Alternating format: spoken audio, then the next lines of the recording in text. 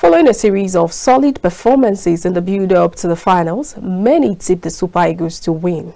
However, that was not the case as the host came from a goal down to secure a 2-1 victory, earning them their third AFCON title following their earlier successes in 1992 and 2015.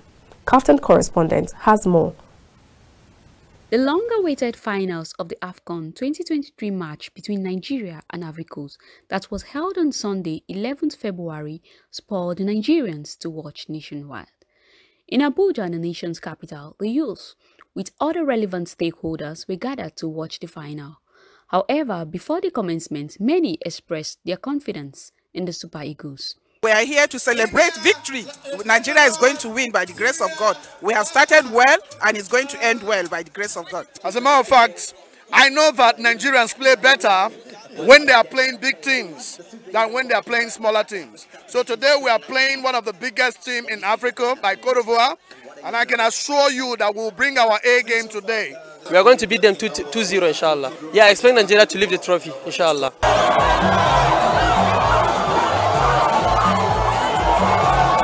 On what turned out to be a disappointing final, Nigerians became nervous after the match scores rose to 1-2.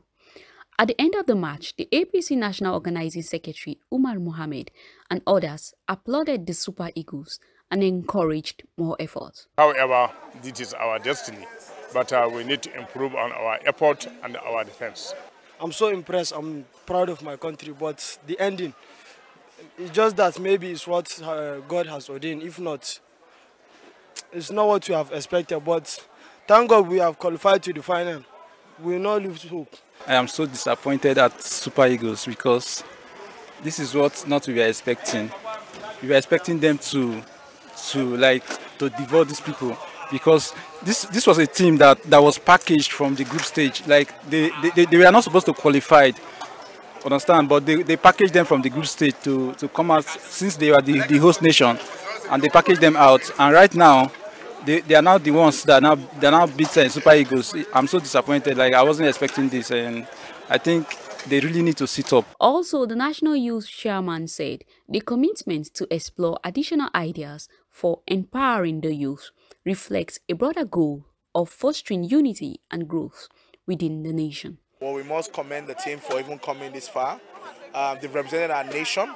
We're proud of their effort and their exploit. From Osimhen to many of the other guys who work there, Lookman, the goalkeeper, Nwabali, and all the others. They made us proud, and Nigeria is proud of them. Beyond, you know, sport uh, uh, uh, gathering like this, we also hope to bring together different kind of uh, activities to engage uh, young people in Nigeria. Uh, some of them will begin to unveil very soon in the coming weeks. Um, some based on building skills and capacity, some based on social um, uh, social exchange and all of that like what we've had today. As the curtains fall on these tournaments, the spirit of optimism and determination remains, shaping the path for future successes and endeavors across Nigeria. Zainab Akogun reporting for Kaftan TV.